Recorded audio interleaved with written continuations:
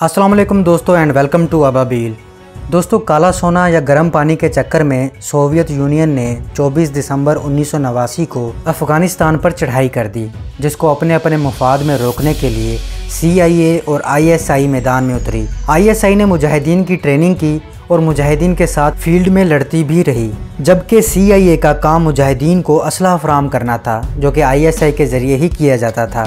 C I A نے اس arms and finance programme کو آپریشن سائیکلون کا نام دیا۔ اس آپریشن میں سی آئی اے نے مجاہدین کو زیادہ تر وہی اسلحہ دیا جو سوویت یونین سے کیپچر کیا تھا یا پھر دوسرے ممالک سے خرید کر دیا، لیکن اپنے چند ایک پرانے ہتھیار ہی دیے۔ شروع میں لو فلائنگ فائٹرز اور ہیلی کاپٹرز کو کاؤنٹر کرنے کے لیے سی آئی اے نے مجاہدین کو مین پیڈز یعنی man portable air defence system یا عام زبان میں شولڈر میزائل دیے، جس میں چین کا بنایا ہوا ایچ این فائیو یو کے کا بنایا ہوا بلو پائپ اور امریکہ کا بنایا ہوا F I M forty three redeye شامل تھے۔ یہ میزائل تھوڑی تعداد میں تھے، لیکن ان پورٹیبل میزائل کے آ جانے کے بعد بھی سوویت یونین کو کافی مزاحمت کا سامنا کرنا پڑ رہا تھا۔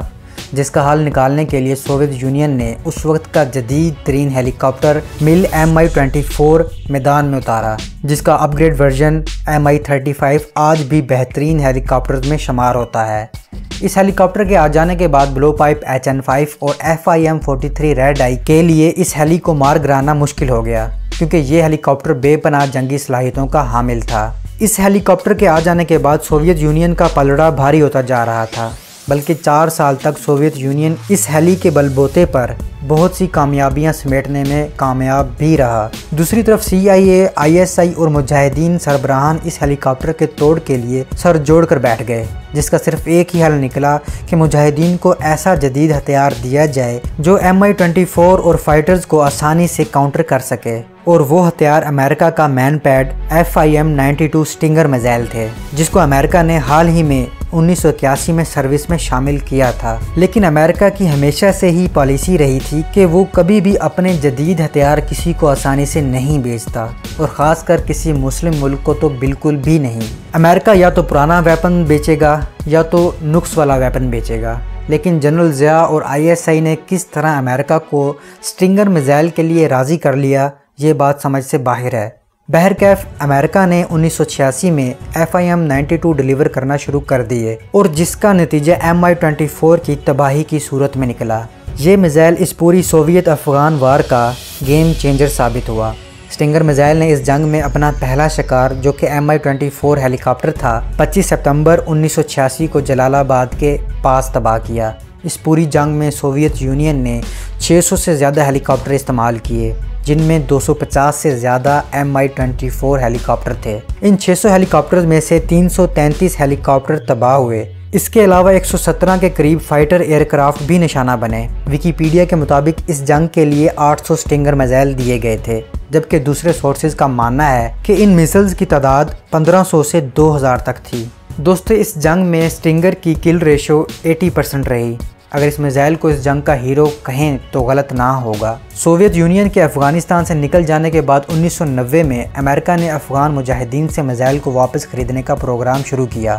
لیکن امریکہ کو صرف تین سو میزائل واپس مل سکے اور اس بہتی گنگا میں پاکستان نے بھی ہاتھ صاف کیے تھے۔ پاکستان کے پاس اس وقت تین سو پچاس کے قریب سٹنگر میزائل ہیں۔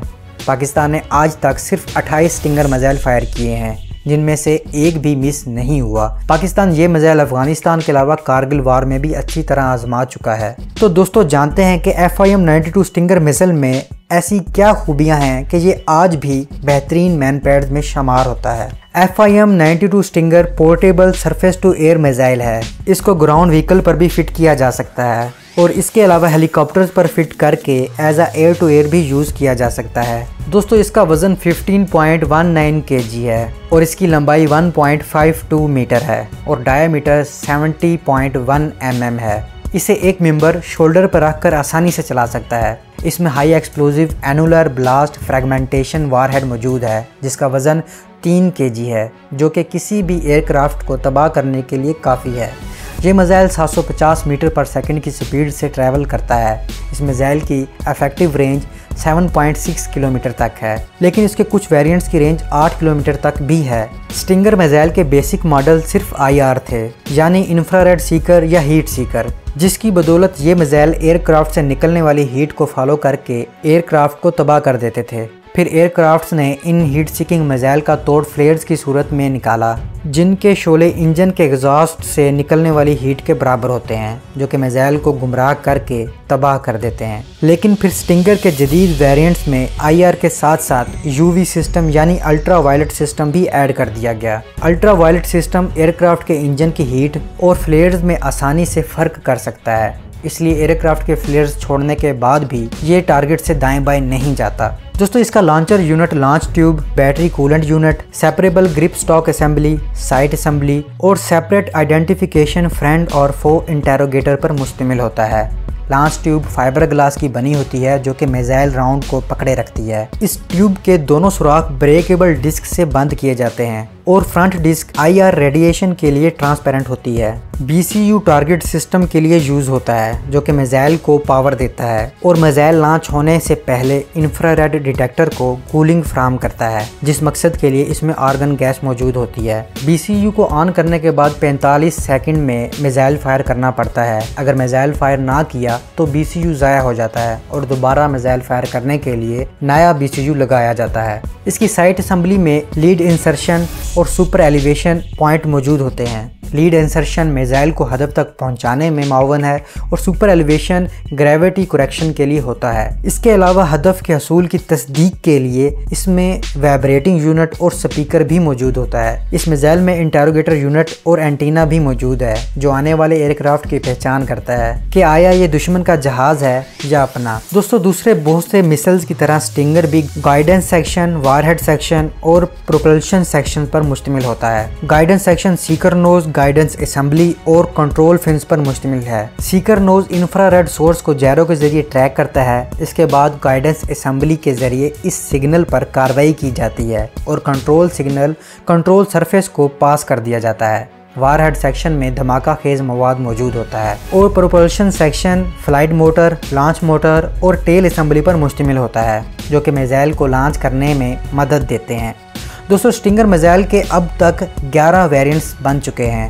انیس سو اکیاسی میں یہ سیکنڈ جنریشن میزائل تھا، لیکن اب فورتھ جنریشن تک اپ گریڈ ہو چکا ہے۔ اس کی یونٹ کوسٹ اٹھتیس ہزار ڈالر ہے۔ امریکہ کی ریتھیون میزائل سسٹم اور اس کے انڈر لائسنس جرمنی کی ای اے ڈی ایس اور ترکی کی راکٹ سین کمپنی مل کر اب تک ستر ہزار میزائل بنا چکی ہے۔ اس میزائل کو اکتیس ممالک استعمال کر رہے ہیں، جن میں پاکستان سمیت بنگلہ دیش، انڈیا اور اسرائیل بھی شامل ہیں۔ اور یہ میزائل اب تک پندرہ بڑی جنگوں میں استعمال ہو چکا ہے۔ دوستو، اگر جنگ کے دوران آپ کو یہ میزائل چلانا پڑ جائے، تو آپ کیا کریں گے؟ سمپلی آپ میزائل اٹھائیں، اپنے رائٹ شولڈر پر رکھیں، left hand grip stock assembly پر رکھیں اور رائٹ ہینڈ فائرنگ ٹریگر پر رکھیں۔